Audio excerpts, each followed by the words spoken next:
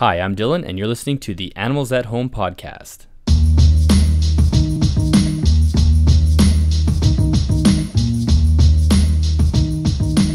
Welcome to another episode of the Animals at Home podcast. My name is Dylan. Thank you so much for joining me. If you are new to the show, thank you very much for tuning in this week. I do really appreciate it. And of course, I appreciate all my regular listeners. Uh, the show is growing, and uh, I can only thank you guys for this. So thank you so much for listening.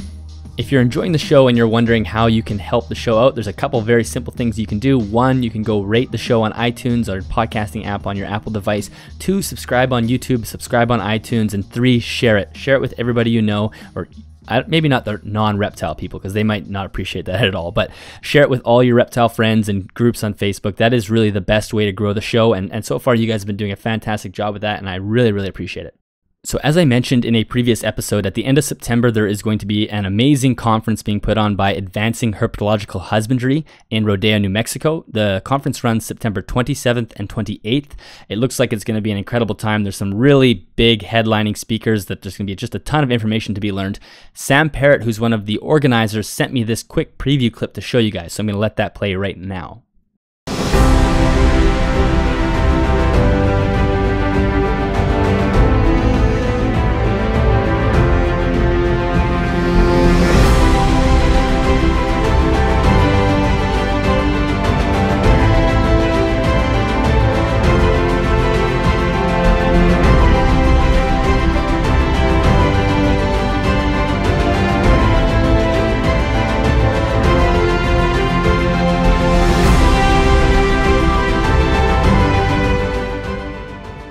Doesn't that look incredible?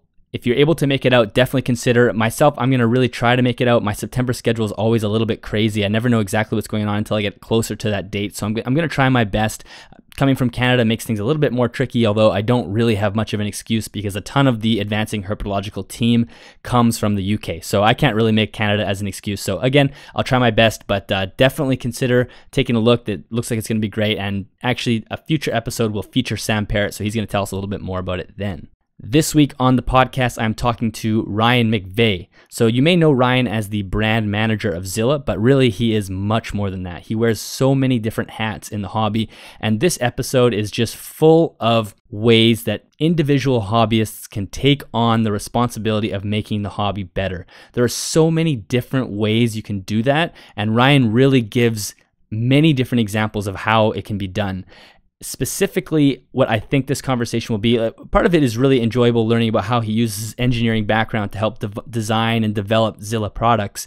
But even more than that, I think where this the the meat and potatoes of this episode and the value of this episode is going to come in from when where Ryan discusses how he created one of the best functioning herpetological societies in probably North America, definitely the United States, and I'm sure Canada as well he has a, a very well functioning society, herpetological society, that is just doing amazing things. He tells us how he has used the herpetological society to help, you know, remove or reverse laws that have been trying to be put in place to ban reptiles. He talks about the, the methods they use to get kids involved and all sorts of really interesting things. So if you are part of a herpetological society or you want to start one, this is an episode you absolutely need to listen to.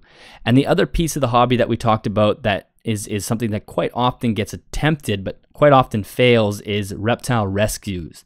And Ryan's partner Erica is someone who has one of the best functioning reptile rescues in the country and he talks about that and what makes it successful and some of the pitfalls you can watch out for. So, Ryan is a big picture guy and when you listen to him speak it you can just tell. He's somebody that likes to step back and really make this he's really attacking the hobby from all these different angles and he's trying to make the the hobby a well-oiled machine and it's very evident when you listen to him speak. So without anything further here's my conversation with ryan.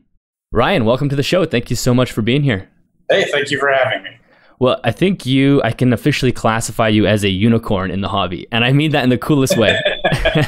I am pretty beautiful, so. That's uh, true, yeah. So it has two meanings here. I don't think anybody wears, or there's not too many people that wear as many hats as you do in the hobby. So I think we can learn a ton from someone like yourself. And we're going to jump into all that. Um, do you remember the moment where you became fascinated with reptiles? I don't remember the exact moment. I've always been fascinated with reptiles, but one my one of my earliest memories was I think I was four. and we were at a family reunion at like a park and some barn or something where we had a picnic, and there was a pond, and all the little uh, toadlets were morphing out. So there's millions of baby toadlets everywhere. And as soon as I realized that, I ran back to the party, grabbed a whole bunch of Dixie cups, and filled them with hundreds of toadlets, and then like sat on the ground and just covered myself in like baby toads. I thought it was the coolest thing ever. That's one of my earliest memories. But I've always That's had awesome. a salamander that I caught, or a garter snake, or something. You know. Do you have? Does your uh, passion extend to other animals as well, or are you just mostly a reptile person? I, I've done a lot with fish. I used to breed discus. I've kept like stingrays and, and a bunch of freshwater barracudas, cichlids, things like that. And then in college, um, you know, it got a lot more difficult as it moved around a lot right at the end of school to to, to move giant aquariums. Uh, and I realized I'd always loved reptiles, and I always I've always had one, but never many. I always just kind of had one until then, one or two. Um, and I realized if I filled them, all, if I drained all the water and filled them with reptiles, then they were way lighter to carry, way easier to move. Yeah. Um, and then I worked at a pet store when I was in college. It kind of gave me some connections. I started going to reptile shows, and then just I went from like one snake to 80 reptiles in one year. Oh yes, the classic uh, expansion. yeah, dam broke open, and I just could not find enough cool species to play with. Yeah, well, I, I, actually was into fish as well, and I had the similar experience. I remember I had to move once, and moving my fish tank was just the worst thing in the world. And it was just Absolutely. even caring for fish is an amazing, like quite a bit of work. You know, just maintaining oh, yeah. them.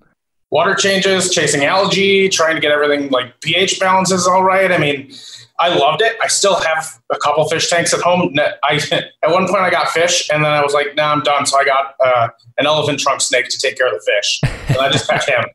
Um, but I have, a, I have a marine aquarium, a small little biocube at home, and you know I like toying with it. I, I, I, I still appreciate and love fish, but reptiles have always been like a huge passion. It was just fish were more readily available and something I got interested in as well.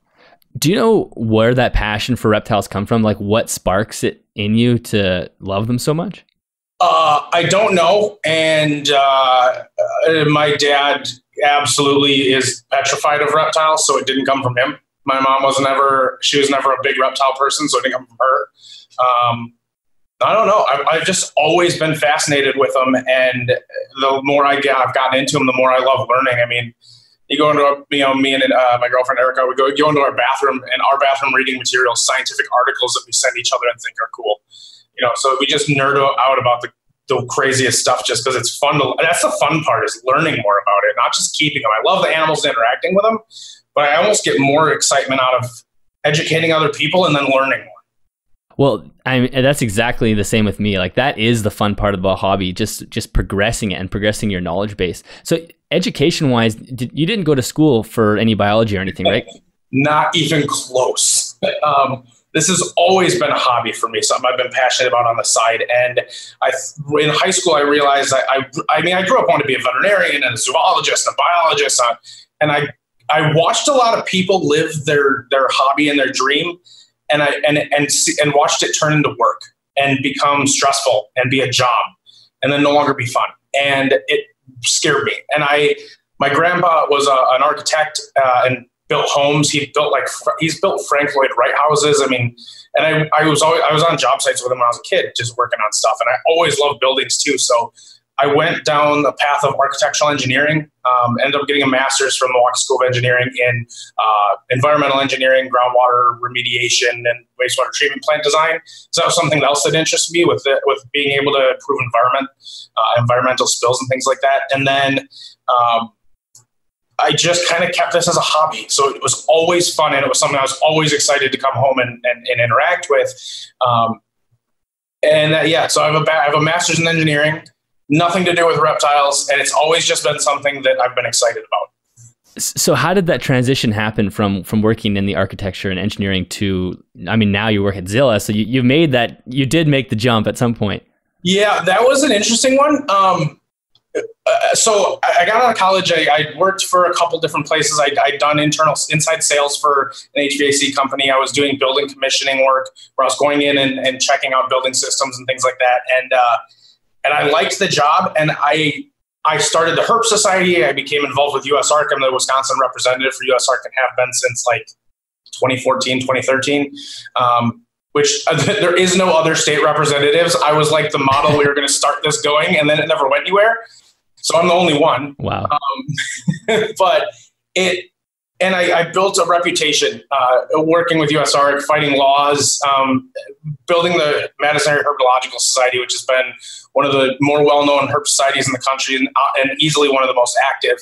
And um, I, I, worked with people who worked at Central Aquatics, which is the parent company for Zilla, and they called me up one day and they're like, "Hey, Zilla needs a reptile guy," and I'm like, "What does that mean? Like that, that's not a job description. Yeah. I don't know what to. Do you want me to come scoop poop? I mean, I don't yeah. know what I'm doing there. So I did a good job, and I said, you know, I, I got a house, I got a family, I can't just leave and go scoop reptile poop. It'll be food, cool, but I don't think I can do it and I kept getting calls. And eventually, uh, Zilla at one point had sponsored us because of my connection with those people and sponsored the Herp Society. And the head of HR sent me an email and said, Hey, here's a job description. I know you're not interested, but do you know anybody? That was the first time I actually seen a job description. So I kind of looked into what a marketing brand manager was a little bit more. And I sent her an email. I said, Look, now that I actually know what this is, not just reptile guy, um, let's talk. And I sent her my resume. We, I came in and talked and got hired pretty much right away. So, so what is the day to day job that you have? Everything. Okay. Yeah. Everything that has to do with the Zilla brand, I have my hands in. Gotcha. Um, technically, my my um, title is marketing brand manager, but I do I work I, I, lead a lot of the project development and how that's going with our R and D guys. They manage the projects, but I inputting and, and, and guiding that that throughout the entire process. Um, I do all the packaging. I do uh, even the ads you see in like Reptiles Magazine. I'm in charge of, of getting that together. I have creative people that design it, but I'm the one that signs off on all of it. Every um, donation we do goes through me. Every thing that has the Zilla logo on it goes through me at one point. So the million dollar question is: Does it feel like work, or is this a dream job? Uh, both, if both. you follow me on Facebook, it's a dream job. Mm-hmm. if you hang out with me for a day, it's exhausting and extremely stressful. um, I love what I do though, and and it it's the really cool part of it for me is is not I don't need a title or I don't need to be the you know Zilla. It's more I'm now in a position to make impacts on the hobby that are nationwide and and big. I can create products that really make a difference for the husbandry of the way people keep animals. The success of every little Timmy or Ryan out there that wants to keep an animal now can be more successful based on how I develop these products for them. Um, and then just how the hobby goes in general, donations to USARK supporting conservation. There's it's put me in a position to have a very big reach on, on a hobby that I'm so passionate about. Are, are there certain products that you help develop that you are just the most excited about? I'm sure you've developed tons, but is there anything that sticks out? Um, some of the stuff that I've some recently there's been I've I launched a lot of decor in the last couple of years, and it's different. I, I don't like the idea. There's a lot of Me Too products out there where Zoo Med has a filter, so Exo Terra makes a filter, and they do this tank, so they do this tank, and it's just skyscraper terrarium is one. Zoo Med did it, Exo Terra did it. Everybody just paludariums. One did it, the other one did it. I'm not about that. I it, I don't think there's a need for it. And if somebody else already did it, then I don't think I need to do it too, unless there's a strategic reason to, for me to do it. Um, but everything that I create, I want if, if it's going to be something that exists, it's got to be better. It's got to be. We really got to think about how we engineer it. And that engineering background I have really does help me kind of think outside the box and how we design this stuff. Um, the Rock Lairs that we came out with, it's just a humid hide but it's developed in a way that it holds humidity longer, it gets better airflow, it creates a better hide for the animal. Um, humid hides have a hole in the top. You basically made a skylight and a chimney for all the humidity to get out and the light to get in. Doesn't really help your animal. Doesn't make them feel safe. Right. So I put the entrance at the side. It ramps up inside of it and around the corner, so they have a dark hiding hole like you'd want them to have. The top being solid creates a convection, like kind of a circulation of air and humidity, and it stays humid a lot longer. Um, the, the Spring Cave is another one we just came out with that uh, it dri- it's an internal waterfall almost inside of a cave, and the water drips down leaves. So inside there, it's dripping down leaves, so chameleons will drink out of it. Tree frogs live in there like an internal rain chamber. It provides humidity and good drinking water. There's no holes in the outside of it, so your animal can get up in there and you can't get them out. Um, and crickets don't die in the reservoir and make it just a cesspool. Um, you know, so it's things like that. Even the, even the front opening terrariums that we've launched, I took a look at my competitors and what I've used in the past and reached out to a bunch of reptile keepers. Having the Herp Society is nice because I just post like what do you like and not like? And mm-hmm. everybody gets entered to win whatever I grab out of the warehouse and give you. you know, so I get a lot of input that way and, and things that people come to and frustrations they find in products. And, and I can take a look at that. And the front opening terrariums that we launched changed a lot of that. They, their doors are removable. So you can take them out and clean them and put them back. If they break, you don't have to like rip silicone out. You can just pop it off and put it back in. Um, it comes with clear plastic inserts for the top to hold humidity. First thing I do is saran wrap the top of them or put glass in. Yeah. You know, so it comes with it. It's easy. Um, the screen's powder coated and rust resistant. The, the, the, gaps in the doors are a lot smaller, so you're not pinching tails or heads or chasing geckos around the house. You know, just little things that because I've kept these animals in all these enclosures, I know the problems they have and where they're where they're successful, and then we create a better product out of it. It almost seems like this is just a perfect marriage between your interest of designing and building, like the engineering background, and then with the hobby. Yeah, it, it really is, and it's it's fun for me. My, my I love problem solving, and mm-hmm. I love coming up with a creative way to look at something. Um, so we have a lot of projects that are coming out in the next couple years that are going to be pretty innovative. It's it's stuff that exists out there already, but the way that we're doing it is going to change the way we keep animals. That's so cool. And I know I had watched the uh, little clip that Emily had put out from Snake Discovery, you taking her through the, the building. Like, that just seems so fun being able to work in a room with a bunch of different animals and you get to test different things. And of course, you don't get to play in there all day, but I'm sure that's uh, a highlight of your day it's it's not bad. Hatching the incubator actually sits right next to my desk, so I can watch it all the time, so I can see all the babies hatch and take awesome. pictures and use it for social media and stuff like that. It's just cool. Um, I've got some of my own animals down there. Um, Bill Stewart is my lab technician. He he definitely gets to play with them a lot more than I do.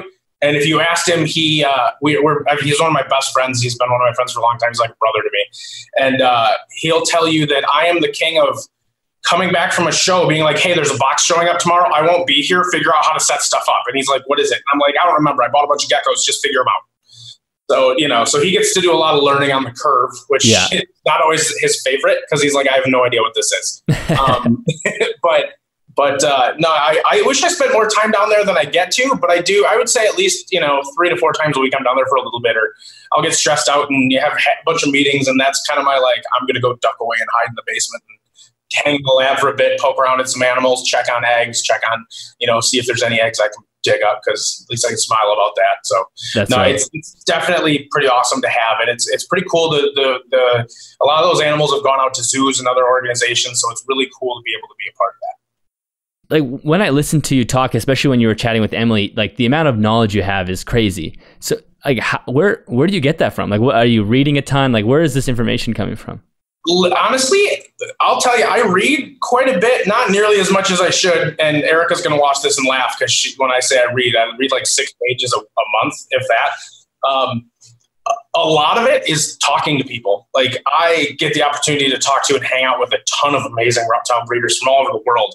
And one thing I find is when people get into the hobby, they're really excited and they're really excited to tell them what they're doing and how cool it is. I used to be like that. And then I realized I was cutting off the amount of time that I could learn from that person. So I just kind of stand there and nod and shut up because that's how you soak it in. And I'll ask a question here or there or ask for, well, what do you think about this? And then I just listen. And that's where you gain all this knowledge. And that's part of like the Herp Society is awesome because I tell people, join up and come hang out. You're just going to sponge off everyone there that's just talking and talking about Latin names and all these you look if people start out and you start talking Latin and they're just kind of roll their eyes at you like you're speaking another language. Which, I mean, Latin kind of is, but you know what I'm saying? Yeah. And uh, and I'm like, no, just sit, just sit and listen, just soak it in, and just ask questions here or there, but just soak it in. That's where you learn is being around people in this community that are just as knowledgeable. You know. Well, it always blows me away because now I've obviously I've I chatted with John Courtney Smith and I chatted with Forrest Fanning and now I'm chatting with you. The three of you guys are not biologists by trade, but you could walk into any university and trick anybody probably. Like trick anybody into thinking you're a herpetologist or biologist, and it's just amazing. It's uh it's just something that I, I think about day and night. I'm always thinking about reptiles in some way or another. I mean, whether it's a new species I want to breed or like I I have the disease worse than I think anybody I know. There's no one that's met me and hung out with me that has less reptiles than when they met me, and it's 100 percent true.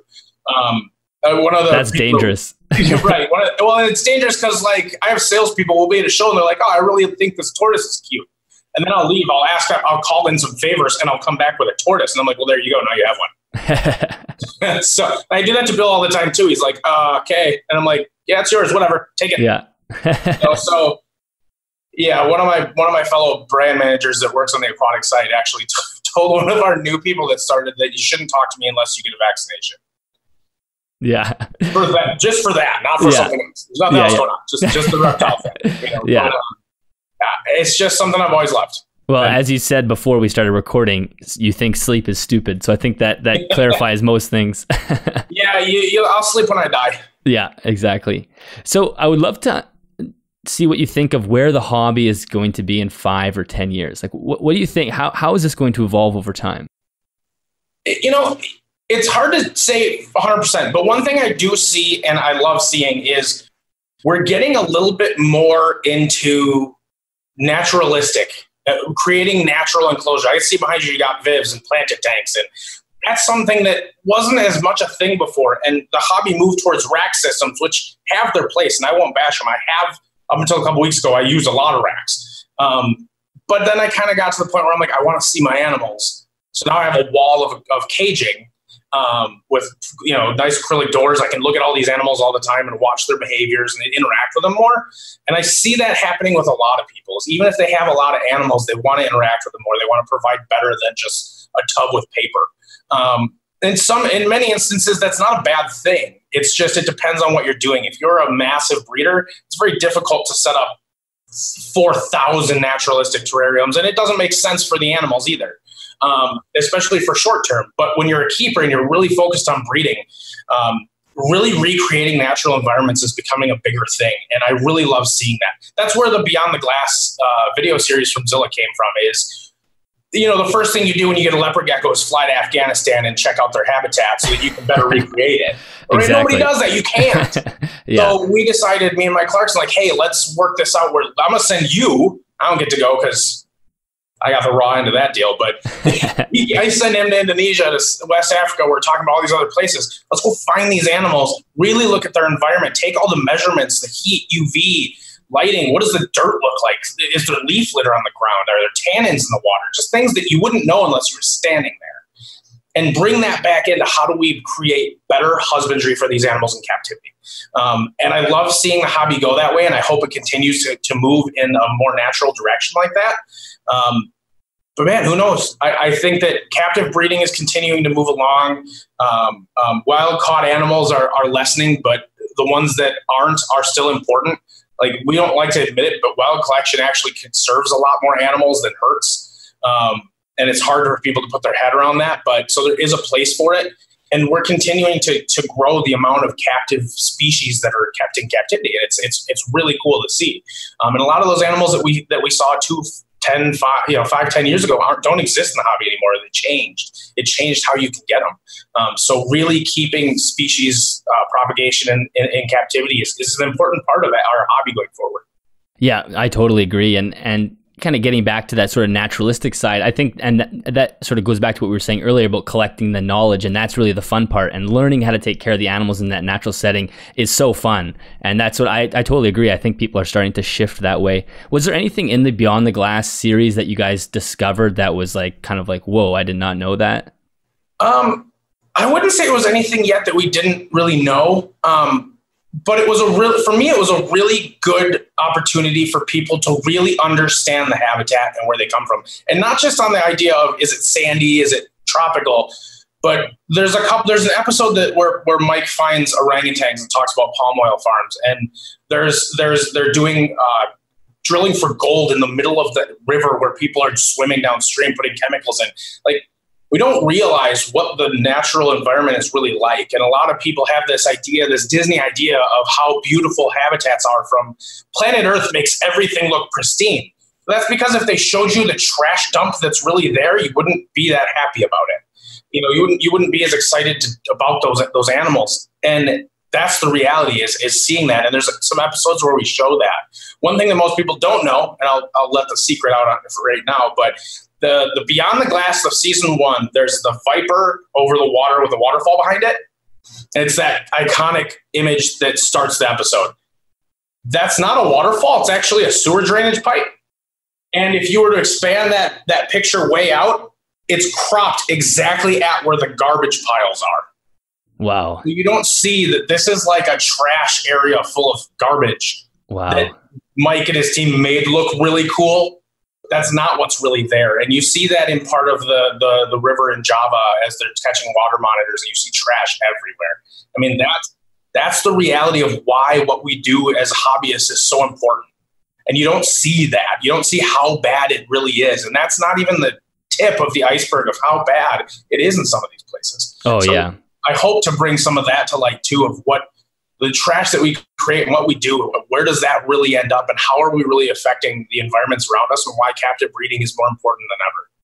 Well, yeah, and that actually leads into the next thing that I was going to ask was like, what is the deep purpose of the hobby? Because it's one of those things where somebody that's outside the hobby, they might say, "Well, this is just destructive. You guys are, you know, keeping animals for your own selfish needs," and and, and partly people are in some cases, and I think obviously there is a sh- selfish side to it because we all just love the hobby. We we love keeping animals, but there's got to be a really good deep purpose for the hobby. Do you think that mostly is centered around conservation?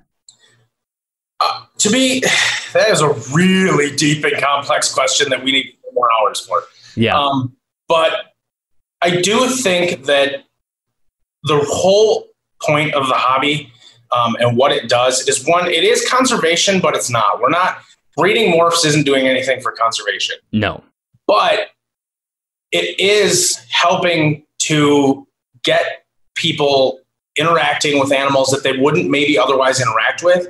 And when that animal's in your house and you're interacting with it, and you create a bond with it, you care about it. And when you care about it, you care about where it comes from. And when you care about where it comes from, you're more willing to do more.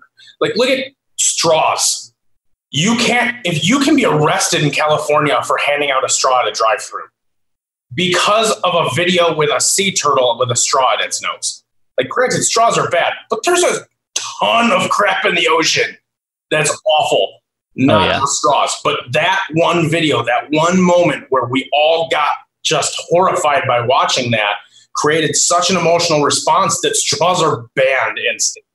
Like that's crazy to really think about that. And by having animals in captivity and helping create those bonds and that passion, that empathy for animals that you may not otherwise have, if as we're becoming more urban, you know, civil urban civilizations, there's not as much country, not as much forest to go hike in as there was 50 years ago. We need to find ways to create that bond with nature, and reptiles are doing that in a way that nothing else can. Yeah, I, I totally agree, and es- especially when you go down the naturalistic path, like it just gives you this like peace almost of, of creating something in your home, especially if you live in a city, and it does kind of connect you a little bit with the wild, you know? Oh, absolutely. And it's funny. Erica tells me all the time. She's like, you. She she's like, I love when you build cages. You do an incredible job. They're gorgeous. And for me, that's my favorite part. I love building out cages. And then afterwards, I'm like, all right, put some geckos in it next. I don't care what you do with it. You take care of it. I just built it. There's plants. I'll trim them. It's awesome. Next one. I just want to build stuff. I just want to build environments because that's the cool part to me. And my son, my stepson, had done the same thing. I taught him about where our peacock monitors come from, and he came to a herp society meeting in Madison where me and Bill did a talk on bioactive uh, uh, bioactive uh, ha- habitats. And he got all excited. He went. We went back to the house, and he built a 40 breeder front opener and totally decked it out for our monitors and then made it bioactive. And he was asking me questions about where they come from and what do they like to live. And so he can create that better environment. And that was the, like the coolest freaking moment for me as a dad ever. Oh, I As bet. he's burning and he just wants to create that, that environment. And he did a, he made me look like crap. Like, I got to up my game and school him because he really did a good job. And these really secretive monitors were out basking two hours later. I'd only seen them three times in two months wow, and they were out shortly after he got done. that's Um, awesome. Yeah, so it was really cool, and it really helped fulfill that for him that he'd done a good job and he had recreated this environment because the way they're out more often, they're more interactive. We can get closer to them, and it's extremely shy and skittish species. Um, so that kind of stuff is just the cool part of what all this is. You know, it's Oh, just yeah. way bigger picture. There's there's an industry and there's money and there's conservation and all this stuff going on. But all of that has to center around the empathy and the connection that we create with those animals in person. And you can't get that from books and shows. Totally. Yeah, I totally agree. And and yeah, that's a really cool experience with your son. It, are all three of your kids uh, involved? Like, do they like the hobby, or are some of them scared? Or Uh, I am blessed with three little girls and a stepson, and my they all are they all like reptiles. We hiked. Uh, me and the two older ones were Zach's nine, Naomi's seven. Hiked Snake Road over Memorial Day in Southern Illinois. They got to see cottonmouths and all this stuff, and super respectful of it. But at the same time, we found a green, uh, uh, rough green. They all got excited and wanted to hold it and interact with it. And my my two youngest girls think it's the, their five year old twins. They think it's fantastic to steal the roaches out of the bin and then create little houses out of their Barbie stuff and then like feed them tomatoes and like let the roaches live in their Barbie house. And then me and Erica have to go make sure like they put them back. Otherwise, they think they just stay there, and they don't. So you know, they but they're all they all love animals, and and Naomi, who's seven, the older the older ones now, is kind of she's at a point where she's like, I don't want to care for animals, but I want to do something with animals. So she's not probably not going to keep a big collection. She's not going to keep a bunch of reptiles, but I can totally see her being a field biologist, somebody who's really involved in the conservation and, and well being of animals without literally scooping poop every day. Exactly. Yeah. You know, but they all have some aspect of it that they like and, and that they get involved with. And, and we continue to, to, to nurture that, get them books, get them, if they want to go do something, we're on it. Let's go do something and learn more. Um, and you know, I've even I've, I've been able to like FaceTime while I was at a show with Philippe De Vosjoli and Zach's reading about gargoyle geckos, and I'm like, here's the dude whose book you're reading, and, and then you know, have Philippe say something to Zach, and then you know, I'll keep going, buddy, and then get him all excited that he's learning from the guy you know, I tell them all the time, I'm like, we go to the, you know, local zoos and I know the people and we play with sloths and you get to hold like whatever you want. And like other kids don't get this. Like, you know, appreciate how cool this is. I didn't get to do that when I was a kid. I yeah, geek yeah. out now and you're doing it next to me. Like, oh, whatever. It's just a, it's just a Komodo dragon I just fed with tongs. No big deal. Like, I'm like, that, you, how is that no big deal to you? I'm, I'm, I, there's urine running down my leg. I'm way too excited. And they're just like, yeah, it's just another day, daddy. Yeah. That's awesome. Well, I, I, think that is probably one of the best parts about the hobby is is that whole scenario. The hobby does better than anything. Like even a, a zoo is not going to give you that experience. Going to uh, watching a movie or watching you know Planet Earth, it's nowhere near being able to you know build an enclosure with your hands and watch the animals interact with it. As a kid, that's amazing. Oh, absolutely. And, and the other part of it too is like I love zoos. I go to everyone I possibly can. We have a goal in our house to get a keychain from every zoo within a thousand miles. That's amazing. but like at the same time, it's it's a one day and then that's it. And reading books, watching shows, we all got excited about Steve Irwin and Jeff Corwin and all this stuff like that. David Attenborough, they're just gods in all of our minds, right? But it, it only fuels you so far and then it dissipates. You know, a week, two weeks later, you're not thinking about it as much anymore. When that animal's in your house and you're watching it every day and you're watching its body language and how it reacts to its environment and things like that, it's just you can't describe what that feeling is. And it's so rewarding to be able to be a part of that and really understand these animals and appreciate them versus just like, hey, there's a cool turtle in a pond and then you walk away. You get to see it interact. How does it bask? How does it eat? How does it hunt? How do they, how do some of these lizards head bob at each other? What are they saying to each other? It's so cool and you pick up so much knowledge just sitting and watching. Totally. Yeah. And, you know, it's, there is an immense value in it. And I mean, and there's lots of people who are involved in the hobby. And I always say this who, who may be doing something destructive with their life and the hobby has redirected them into, into something much more positive. So uh, th- that's why I always really try to promote the hobby policing itself and, and us trying to grow the hobby because what will happen is and it's happened in lots of places where government steps in and, and cuts things off at the knees and says we can't do this. And a, a lot of hobbyists get upset. And, and from my point of view i think okay that's kind of the hobby's fault. Like we messed up somewhere. Somewhere along the line we didn't take responsibility. And i think there's two things that you're involved in i think and erica as well that really is the ultimate responsibility you can take and that's one the herp society and then two the rescue. So i'd love to chat a little bit about the the herp society because it, so why did you start it and how did you start it? So when i was in college i worked for a store called hoffer's tropic life pets. It was one of the largest independent pet stores in the country. It's in milwaukee wisconsin. Um, it's been gone for a few years now and mike had passed away last year but um, amazing place. And i started getting teachers and stuff that would come in and want to do reptile shows so I would take some of my animals. I'd grab a couple animals from the pet shop or the store on my way out the, night before. I go do an educational presentation, and and I just fell in love with it. And when I got out of college and moved to Madison um, for work, I I realized there was no herp society in Wisconsin anymore. I was on a forum back when there were forums. We, we were all chatting about, oh, it'd be cool.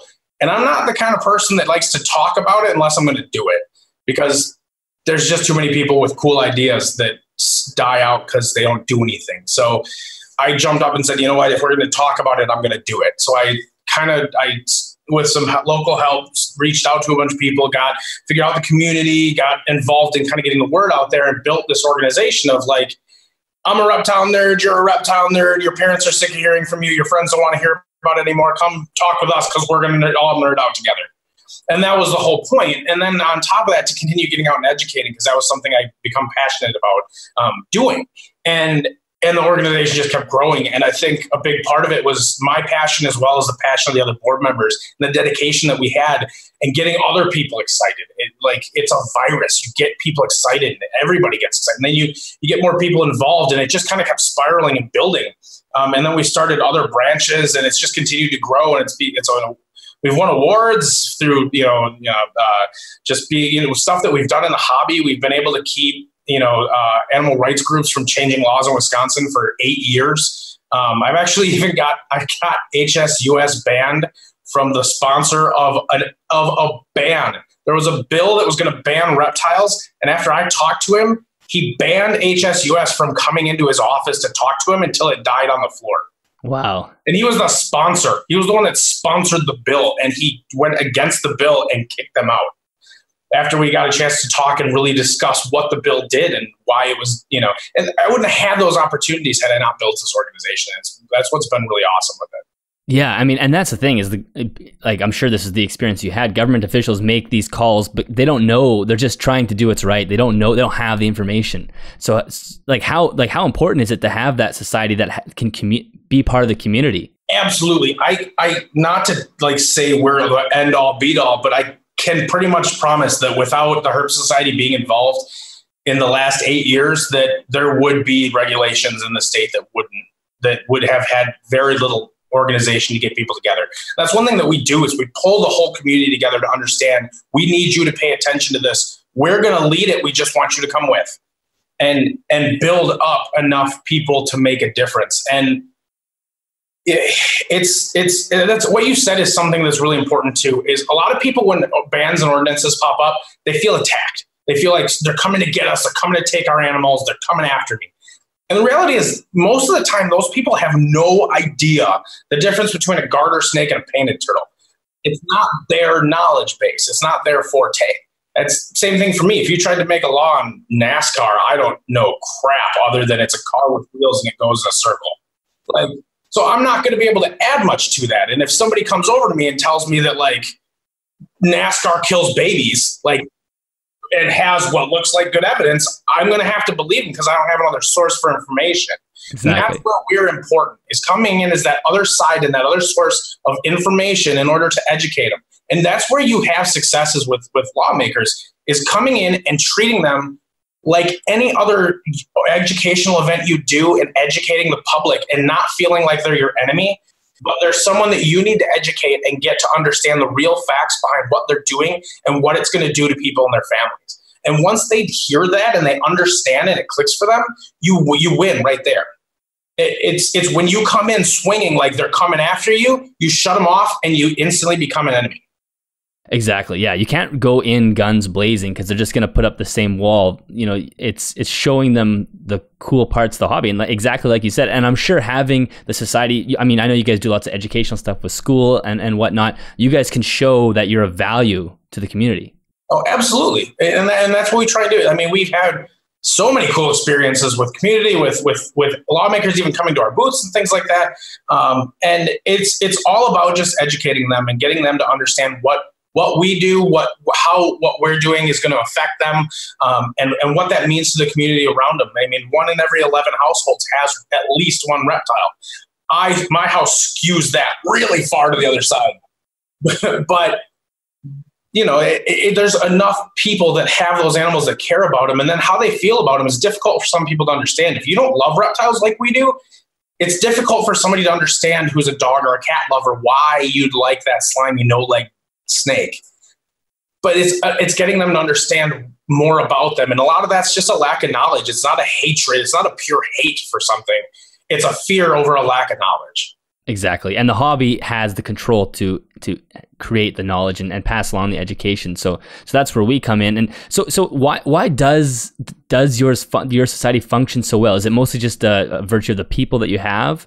It's it's a couple different things. One thing that I know being around the country, knowing all these herp societies, a lot of them are older herp societies. Um, there's some local ones near us. Actually, Minnesota and Chicago both have really long running, very well developed herp societies. The big difference in where I don't see a lot of organizations doing well is because they're looking at herp societies as the same they were back in the 90s. In the 90s, we didn't have the internet. You had to go to the library. It was you had to, you sent you got faxes in. Most people for the kids listening, a fax is kind of like a printer over the telephone. Yeah. Like, They're Google, like, what? You know? But like you had to, you got faxes of your price list from animal vendors all over the country, and it wasn't like it is now. So they ha- they were very academic based. They were very based in science and, and trying to get in people that way. They weren't as much talking about breeding everything because that wasn't quite happening as much as it is now. Well, now you have a different group, a different group of people, and you need to cater to them differently. Social media is is important. If you're not going to do it, then you're going to fail. If you're not involved in um, being out there and being in the public eye often, you're not going to do well. The monthly meetings are probably the small do. Um, they're important, but they're kind of like just something we do so we can all hang out, learn from somebody cool. But it's not the big important part. The bigger important parts are, are what we do to outreach and to get out to the community and the public. And, and that's where our focus is. That's why we're one of the few, I think we might be one of the only herp societies that live streams our meetings because everybody wants people to come and they think if you live stream it, nobody will come. Our, actually, our attendance has grown since we started live streaming because people see how cool and fun it is and how they can interact with people and they want to be there. Yeah, you'd rather be there in person. Exactly. But at the same time, we're sending that knowledge out there permanently to the universe to, for everybody on social media and stuff to, to see. So it's getting more value out of that out of that knowledge that's being spread, and at the same time, we're not hurting from it at all. We're growing. So it's it's reacting in a way that you understand how new people think. Getting do I want to hear somebody breed about someone breeding ball pythons? Not really. You unplug the light, you wait two months, you plug it back in, you put them together. Not hard. You know, granted, there's more to it, but you know what I mean. Like, I, it's not something exciting to me, but it's exciting to someone. And it's it's about catering to all those pieces. I still bring in scientific speakers once in a while, and it's people I know that are really good at engaging and making that that idea or study interesting. Um, and that they, it's aimed at like anywhere from kids to upper. It's not we're not do, going to like a, a doctorate conference in herpetology where everyone's just nodding and waiting. You know, it's it's got to be fun and interactive still, but there's still plenty of room for it. It's just too many herp societies are stuck on the we're going to get a guy in here to talk about how he discovered a new population of the same salamander, but it's 10 miles this way. Yeah, the pattern is a little different on its back. exactly. And it's just not going to quite do it. You got to think outside the box. And that's something that we've been really good at doing.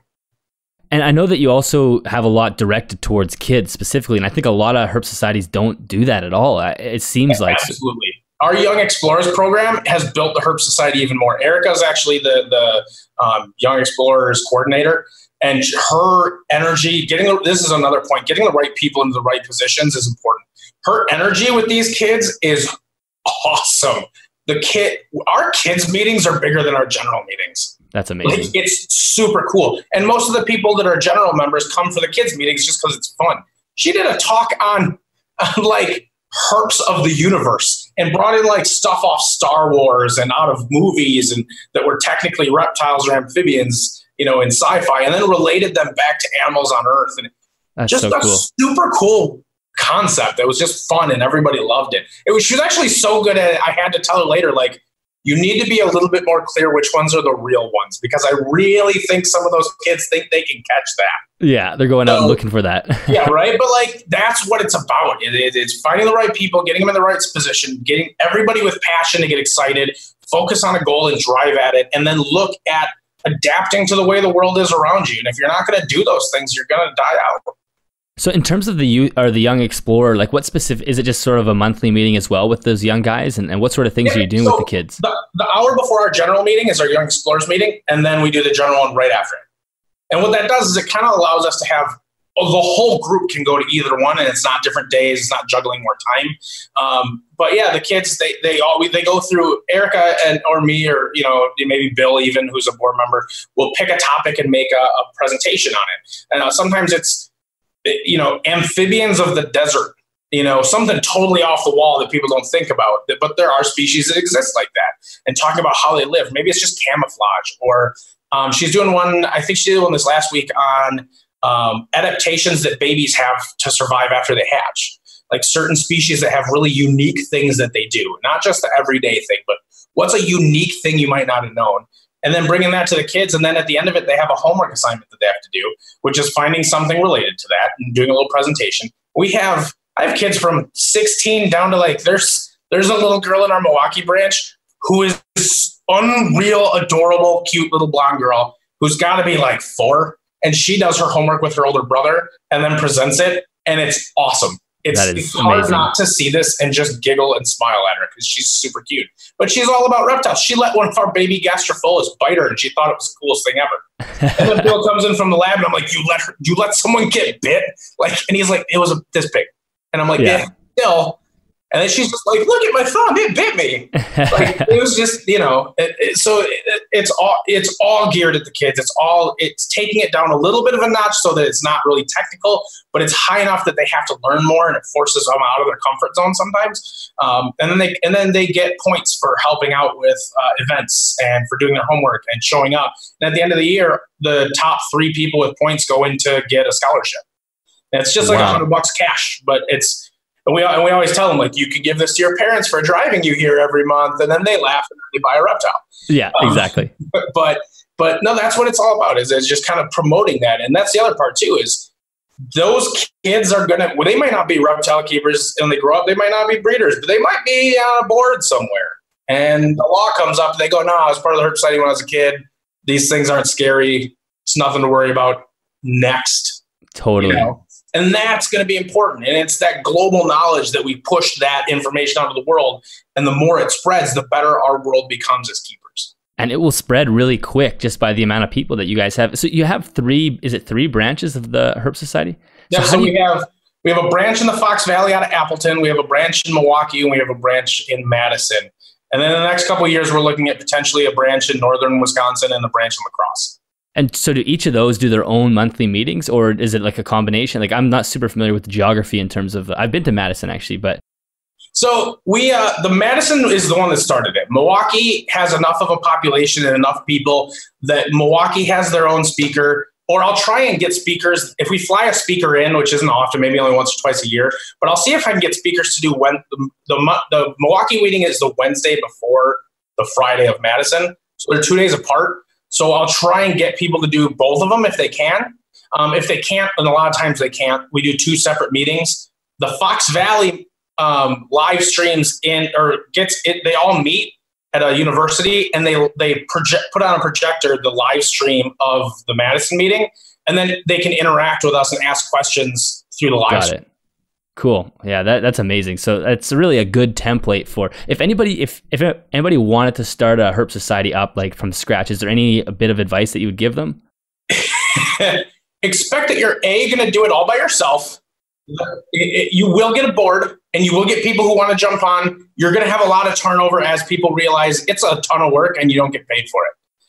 And be passionate. Like if you are not chomping at the bit to go talk to everybody you can about reptiles, you're probably not going to last that long. You really need to have passion. You really need to have drive, and and then you really need to run with it. And the people who don't keep pushing it and building it and get overwhelmed are the ones that just burn out. And that's where you end up with problems. So you really got to have that passion and drive. Expect it to be 40 hours a week. You're not going to get paid for tons of stress and extra work. You just have to do it because you love it.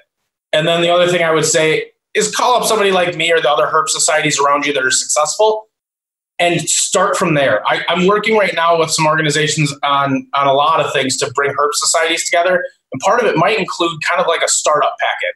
if you're going to start a herp society, here's what you need to get your 501c3. Here's what you need. Here's how you get out to people. Here's your best ways for marketing. If you want to do adoptions, don't recreate an adoption form because 75 other herp societies have an adoption form. Here's a template. Just put your name on it. You know, that kind of thing. Here's your the people who cover carry insurance for herp societies. All the information you need and try and build a packet for people who want to start new ones in areas. And until that happens, just contact us. Contact organizations that you know of that are doing well and see how they're doing. Contact 10 different organizations. Try and learn the best from all of them. Yeah, I think that's a great idea, and it would I would love to see more herp societies that are similar to what you have uh, there, just because it's a perfect example of how the hobby can fix itself from the inside out. Absolutely, and it's all about evolving. I think that's one thing, especially with working in Zilla and and, do, and designing products.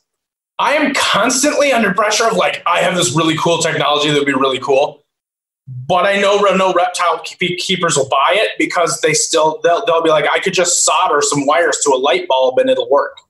Like and then there's we're all cheap MacGyvers. Yeah. Oh so, yeah. Like and that's and, and change is hard to do in the hobby. A lot of people I've done this way for 40 years. I'm going to keep doing it this way. But understanding that we need to evolve as a community, we need to evolve as keepers, we need to evolve the technology and the things we do in order to keep these animals better that's where it all comes in. And even with herp societies, everyone needs to let go of the past, learn from it, and continue to evolve in a way that moves our hobby forward. And if you're not going to move the hobby forward, then get behind somebody who is and follow them or get out of the way. Exactly. And it's not about stepping on the people of the past and saying they did it wrong. It's just about taking the next step forward. Like we do have to evolve. Really? It's all about building. We couldn't, Zilla couldn't exist without what Gary Bagnall did with Zoo Med. Like the, the stuff that Gary did in the 80s and early 90s to build this hobby is is imperative to what happened. Grant to how it is now. Granted, the technology we have now is severely past where it was then. We still use incandescent light bulbs. Thomas Edison turned on an incandescent light bulb. That's basically what we use now. Like, I don't use the same phone that he had. Yeah. But we use the same major heating technology that he had when there's so many better options. And, and there's so many different ways to think about it. And that's what I think is going to drive the hobby forward in general, whether it's keeping animals or herp societies or laws and things like that. It's being able to adapt and, and educate and get out there with the common goal of just lifting the hobby. At anything you do, at any point, any interaction you have, selling an animal to someone or creating a care sheet or you know, even just setting up your own cage for your animal, you have an opportunity to always improve what you're doing. And if you're not looking for better ways to do it, then you're falling behind. Totally, exactly. And one of the other things that you and I think Erica mostly spearheads this, but I think you're involved in well is as well is the rescue. Yep. The reptile rescue. So uh, I know the rescue is fairly it's a fairly well functioning machine you guys have there. What what what makes it work so well? Because there's some some people that want to start a rescue and then they just get overwhelmed because it's just so much work and it, it can be dangerous. You know, crossing contamination and whatnot. So what makes it work? Uh, first, let me tell you, this is all, Erica's rescue. She started um, eight eight years ago. I just got put on the board because I'm dating her. it was before that, but I got put on the board uh, just for my knowledge because we're good friends and stuff. And it's one out of all the rescues in the country. There's only a couple I'll support, and hers is the gold, platinum, diamond standard. It is unreal what she does, and a lot of that has to do with the fact that she has a background in exotic animal care. She's a, certified a CVT, uh, veterinary technician, and she's dealt with exotics for 15 years. Um, she knows more about exotic reptile about reptile like medicine than a lot of the doctors that were, were at the clinic she worked at who were exotic vets. Um, she's just passionate about learning too, and, and just on the medical side. Um, and what that helps one, just because when she brings in animals, she understands what their needs are. Um, and then I help with the husbandry needs of the animals. So she looks at the medical, I look at the husbandry, and we kind of team really well together. Um, but the other part of it, if you want to start a rescue and you want to be successful, be ethical, which is a big thing most people don't understand. Be a 501c3 nonprofit and be legitimate. Don't just be somebody on Craigslist asking for a bunch of animals. Um, and then understand that you need to have a lot of extra money and time because all these people think, oh, I'm going to get sponsorships and people are going to help me. And that is not the case at all. Um, the rescue that we run, that you know, that Erica's leading, is is doing a lot of things, but really marketing out to the right people and getting sponsorships here and there happens, but you really need to run on yourself. And if you can't financially support it for the first five years, it's going to die. So you need to make sure that you, as the as the person running it, can financially support it by yourself in the beginning to get it going. And at some point, if you do it ethically and you do it well, you will build up credibility. You will build up and get sponsorships and get assistance um, in certain ways. Get you know Zilla sponsor you, things like that.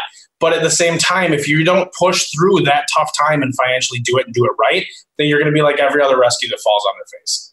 Yeah, and the rescues, the idea of them do come from a good place. Obviously, there's a lot of collateral damage in the hobby, and, and, trying to help that is great. But exactly, there's a lot of people out there that just go, "Well, I'll just have a room full of reptiles. I'll get them for free," and then all of a sudden they need a rescue to rescue them.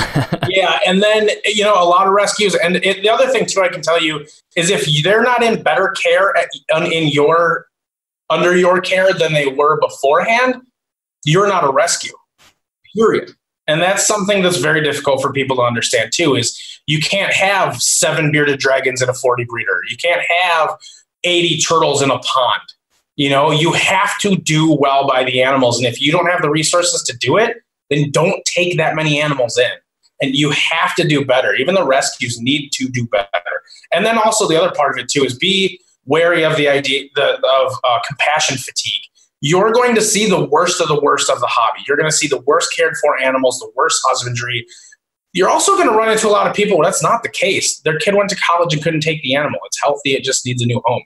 But you are going to see a lot of bad stuff, and you can't let that beat you down. You have to understand that the goal, when I see that stuff, I get really frustrated and it's sickening sometimes. It's really frustrating to have to take in an animal, watch the person cry because they feel like they loved it, but they loved it in an anthropomorphized way of they thought they loved it as, as an animal like a dog, but they didn't. Loving reptiles is creating the best environment you can for them and having the best husbandry. That's how you show you love them. And most people don't understand that. So you have someone who's crying that they're giving up their animal, and we tell them we're going to do the best we can. And I know that the next day it's getting put down because we can't save it. And that sucks and it's painful and it tears you down for a day. But oh, at yeah. the same time, you have to understand that that's where the value of education and getting out there and promoting better husbandry and educating people, that's where that value lies. That seeing that's frustrating for me, but it's fuel to continue to get out there and educate people on proper husbandry. Our goal with the rescue is to not need to exist. Exactly. That's our goal. You know, and that's how it should be. How long has the rescue been in operation? I'd have to ask Erica for sure, but I believe it's eight years. Um, and I would say in that amount of time, I think she's found homes for well over 2,000 animals. Oh my goodness, that's that's amazing. It's the only 501c3 like uh, a licensed and insured reptile rescue in the state of Illinois. There's other people that rescue reptiles, but they are not a reptile rescue on the books. So she's U, they're USDA certified. They have inspections. We work with um, IDNR, uh, Illinois DNR. We work with a ton of stuff, and and we're the only ones that are licensed, insured, have all our paperwork and permits in place, and are are on the record as a reptile rescue. Yeah. So if you want to do that, that is the way to go. You have Absolutely. to go through the paperwork. Absolutely, and it's it's a bit of a pain, and you might have to hire an attorney and to do it, and it's not as horrible as it sounds. It might cost you five hundred, maybe a thousand dollars, worst case. Um, but that's what's going to legitimize you too. Even for me at Zilla, I get people all the time that work with rescues that want us to donate stuff. I'm happy to do that. In my eyes, though, if you haven't done the work to become a 501c3 and to have your paperwork in order, then you're not that serious about it. And then I don't trust that my donation is not just fueling someone's I want 40 bearded dragons. Yeah.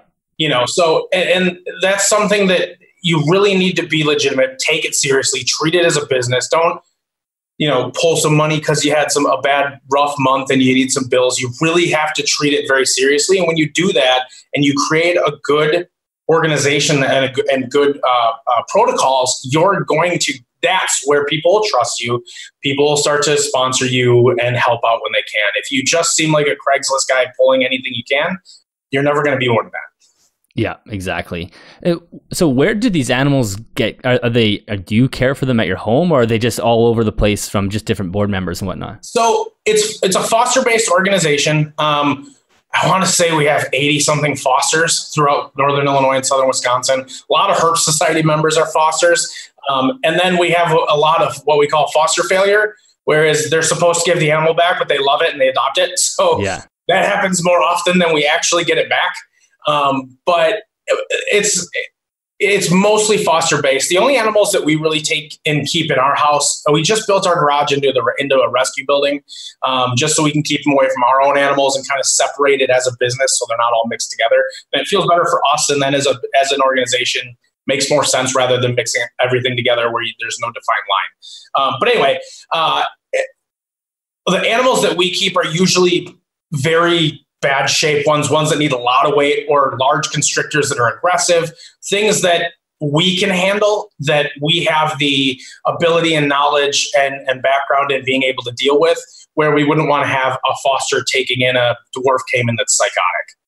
Um, that's something we take. Or if it's something that needs a medication administered multiple times a week, that's Erica's forte. We keep that animal. Me and her work with it. Gotcha. And then once it's a little bit better and it's eating on its own, then it goes to a foster. Makes sense. So uh, we're almost at the end of the hour here. So I, I really appreciate everything that you've uh, told me here. What, what do you have at home? I know it's probably a giant list. You don't have to go through everything. I actually have the least amount of animals I've had in about 10 years. Oh, um, oh, wow. Just with work and stuff, I decided a couple years ago that I had a little bit of everything because I am, have reptile ADD. I'm like, there's a gecko, I have to have it. There's a thing, yeah. I have to have it. And then I ended up having like a pair of freaking everything. I had a rack that had like Australian geckos and like New Caledonian stuff. I'm like, I'm messing up the husbandry and nobody's perfect and they're all like good enough. Yeah. And I didn't feel right about it. So, and I realized after I had my twins, I was like, I need more time. So I looked at my animals. I said, if everything I had was worth nothing and I could never sell it, I just had it because I enjoyed it, what would I keep? And that's what I keep now. And what that is, is uh, South Pacific and Australian pythons and uh, Odatria are dwarf monitors. Those are the majority. And then we, we keep some geckos and stuff too, because geckos are my just passion. I'm never going to get away from it. Um, so we have a couple geckos too. And then Erica now loves micro geckos because I may have sort of got the ball rolling on that so I could have some geckos again. Um, hey, these are cool. Look at these. Right? Like, hey, look how neat this is. She's like, it's yeah. adorable. And I'm like, oh my gosh, I bet you could have it. What? it's crazy. I know a guy with a couple of these. This is just crazy coincidence that you yeah. happened to look at it when I knew this. Um, no, but and she's passionate about the animals too. So that's that's mostly what we do is a lot of the dwarf monitors. And we also take a look at stuff that's not we focus a little stronger on stuff that's not commonly captive bred. So um, our big projects right now are spinulosus monitors, peacock monitors, um, Timor pythons, and then like white lip pythons. And we're trying to work more with that kind of stuff. Stuff that we don't see captive bred as much, and that really I think are beautiful and amazing animals that need more um, place in the hobby. Well, I think that's a cool mental exercise to go through if someone's looking at their collection. Like if, if nothing if nothing had a value dollar dollar wise, what would you passion be passionate about? What would you want to keep? And, and I think there's a lot of people that end up getting into things that they think they see the dollar signs and, yep. and they just lose the passion for it. Exactly, and that's what's going to keep you happy. Like I'm, I have the least amount of animals, and I'm happier than I've ever been with them. Is I enjoy every one of them. I've been gnawed on this week, and I'm sitting there getting bit by a snake, going, ah, you're such a goofball. Because yeah, like I love this animal, you know, and that's where I get more excited now. It, it, if, if you overwhelm yourself, it becomes a job, and I don't care how much you love your job. Jobs aren't fun. Yeah, totally. You know? So keep it a passion, keep it exciting, and and keep it with stuff that you just love. Exactly. I completely agree. And I think on that note, can you let everybody know where they can find you, Zilla, online? So Zilla, you can find at zillarules.com. We're on Facebook, soon on Instagram. I know for everybody listening, like we're late to Instagram. I get it. I'm working on it. Um, you can find me on Facebook. You can find me through the Herpsitis website. Uh, you can email me. You can find me on Instagram. I think Herptile Dad is my signature or whatever. Um, and then same thing, the rescues, Friends of Scales Reptile Rescue. You can find them on Facebook and online. Um, and then basically just Google my name and you'll find me. I'm apparently everywhere. So it's true. You're easy to find online. yeah. That's why I always tell people when I'm making a trade or something, I'm like, dude, you won't lose me. Trust me. Yeah. You'll be able Google to find it. me. Awesome. Well, Ryan, it was a pleasure chatting with you, and I, I, really appreciate it. I think you have an amazing amount of information, so this should be a good resource for, for people that are trying to improve the hobby. Well, thanks. I had a lot of fun. And you know what? The one thing I'll tell you is there's no point in having this much knowledge if I can't share it with people. Very good. Awesome. All right, that is the end of another episode. Thank you guys so much for listening. I hope you got a lot of value out of that episode. And Ryan, if you're listening to this, I am very grateful that you stopped by. That was a fantastic conversation, and I think it's going to be just an excellent resource for people that are trying to n- take that next step. So if you're somebody that's wanting to start a herpetological society or, or are, are involved in one right now, share this episode with the board members. Share it with everybody that wants to do this because as Ryan said, there's a lot of people going about herpetological societies in sort of an antiquated way. And I think this is a conversation that people need to hear. People need to know that there's other ways to do it, and these ways are incredibly successful. And as Ryan suggested, there is a million different ways that you as an individual can help improve the hobby, help keep the hobby healthy. So watch yourself over the next week. Watch yourself interact with the reptile hobby and try to find one or two ways that you think you can improve the hobby. Maybe it's doing a better job with your enclosures. Maybe it's, you know, making a nice Instagram page. And, you know, I, you guys can think of a million different things. And Ryan gave a lot of ideas there. It's easy to fall into the trap of thinking, since I'm just one individual, what change can I make? But the thing is, is the hobby is made up of individuals. So if every individual ups their game, the entire hobby is elevated to the next level the, the hobby itself isn't a thing. The hobby is made up of people. So if everybody pulls on a little more responsibility and does a, just a little bit better job, we can seriously build some momentum and really enjoy a great, healthy hobby. All right, thank you very much for listening. I do really appreciate it. If you want to support the show and pick up an Animals at Home t-shirt, you can go to animalsathome.ca slash shop, and every shirt that gets sold, $5, is donated to the Amazon Rainforest Conservancy.